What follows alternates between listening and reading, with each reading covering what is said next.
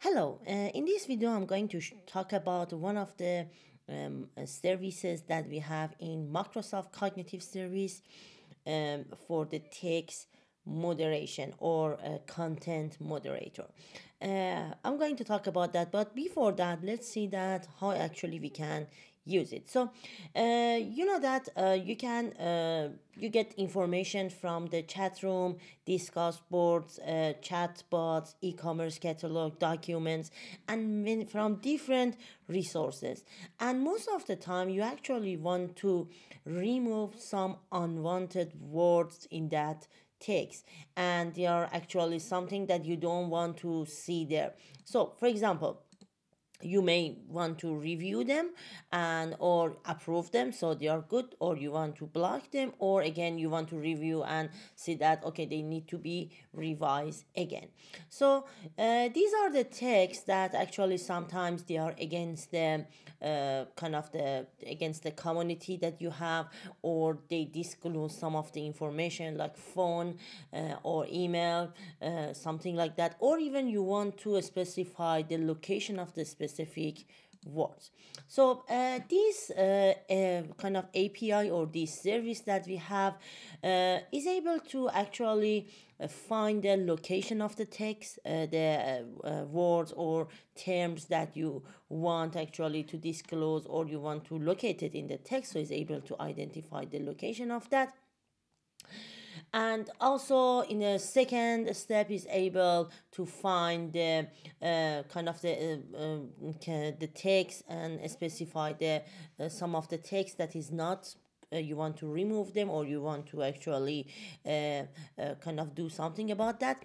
So it's going to classify them into three categories. So the first category is actually uh, is about the category that's kind of we call it sexually explicit or adult in certain situation. So it's able to find these words. Is able to uh, find that actually we call it uh, sexually successive or mature in certain situation. And the last one is actually they are uh, about the text and uh, sentence and in general the language that uh, can be offensive in a specific situation. So is able going and categorize the uh, text that we have if they are we, we call them not suitable so it's able to detect them. So uh, each category return a score between 0 to 1 that indicate the predicted category for that text. So for example how much is belong to category 1 or how much this term belong to category 2 or category 3 and um, uh, the kind of the last one that actually we call it personal personally identifiable information uh, in most scenario we want to not disclose information about the email the name address or other things. So this service is able to kind of find uh, the detect the email address um, us mailing address not i'm not sure about other region ip address us phone number uk phone number and so, social security number and of course uh, it's going to be added some more things. So in this uh, uh, video i'm going to show you that how we can create the actually these services. So first of all you need to go to your microsoft azure uh, so go to the microsoft azure and uh, on the resource group search for content moderator. So it's part of the cognitive services and uh, you can easily create that one um, just provide the region the resource and the pricing tier. I'm already create that so i'm going to just show to you. So it's part of the cognitive services as you can see uh, uh, on the Azure, it's the category of cognitive services.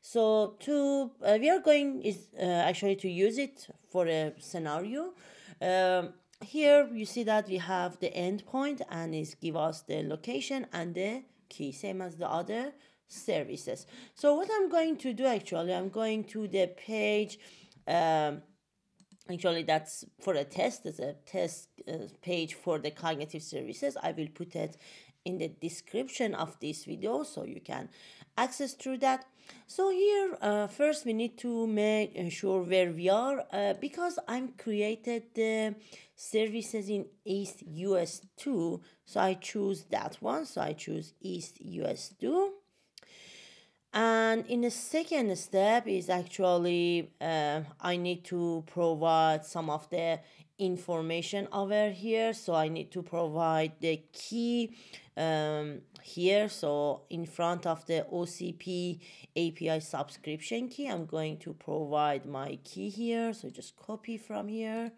and paste it over here. Definitely you can change uh, kind of some things else but this is you, you can do that. Here this example text so this is a so it's kind of the combination of the email phone number and uh, something else. I'm not going to change it. Just put it this one and we are going to see that how it works. So it's going to send it to the url and we wait. So as you can see here in the response uh, the original text is has been uh, detected is going to remove some of the part like this is a and something like that and is uh, extract something. So for the ppi uh, the personal information is able to detect the email of the people the uh, social security number the country code the address uh, the address is, based in US, so that's why it's going through that.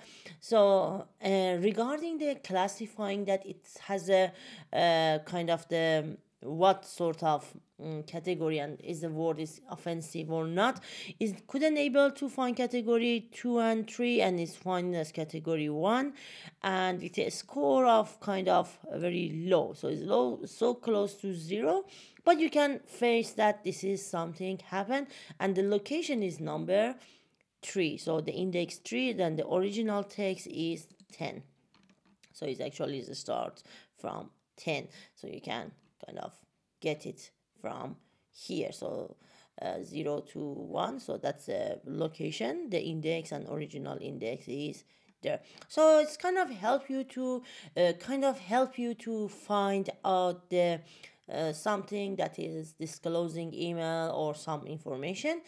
Plus that if in the text so this is can be used in a chatbot.